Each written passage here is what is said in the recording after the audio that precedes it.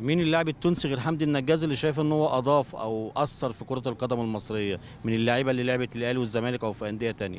لا كتير كتير بصراحة. نصور آه، علي معلول ما شاء الله ماشي كويس مع النادي الأهلي وليه تاريخ كبير في النادي الأهلي.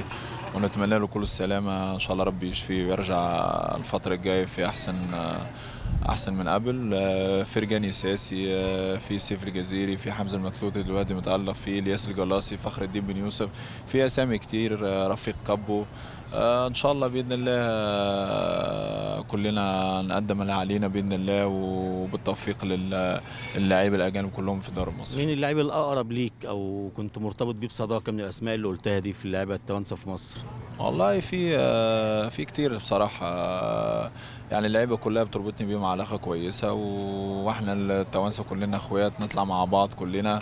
وظهر لي آه، الله يقول تعليم آه، علي معلول آه، سيف الجزيري فرجاني كلنا لعبنا مع المنتخب مع بعض ونعرف بعض وعلاقتنا كويسة وإن شاء الله دايما تكون العلاقة كده ممتازة ومتينة إن شاء الله. فرجاني أثر رحيله على نادي الزمالك؟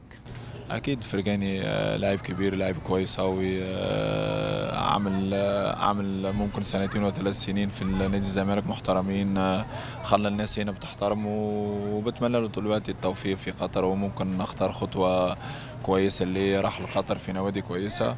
وبإذن الله إن شاء الله بالتوفيق ليه و... وإن شاء الله بالتوفيق لنادي الزمالك.